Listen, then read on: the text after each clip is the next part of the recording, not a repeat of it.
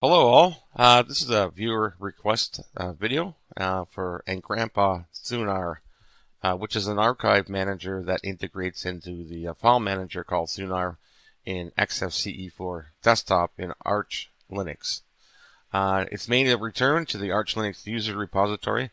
I tried it out yesterday. Um, I had some problems with compiling, so I'll try it again, and if there's a problem, there's a very simple fix for that. So uh, make sure you have Yaourt installed. I mean, yeah, installed, sorry. And your mirror list is uh, configured for that. So Yaourt uh, engrampa Thunar. Alright, so there's only one. It's good to see it's back. And the usual routine.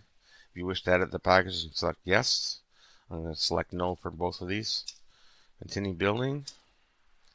And it downloads the dependencies for building.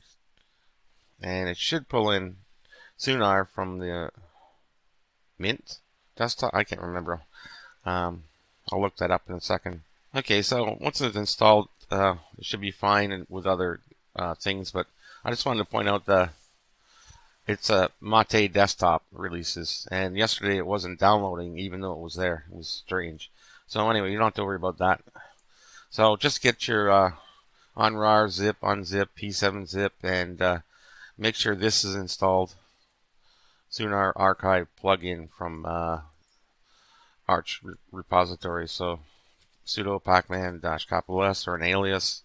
Uh, install that and your other archive uh, utilities. So these are usually the ones I use: uh, unzip, unrar zip, and p7 zip. Just uh, install those, and you should be good to go to have a our engrampa Thunar working again. So just you know, create archive there we go. It's working. Okay.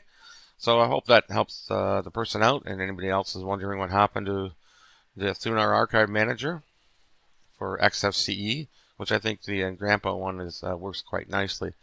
So that should do for this one. And thanks so much for watching. We'll talk to you soon. And bye for now.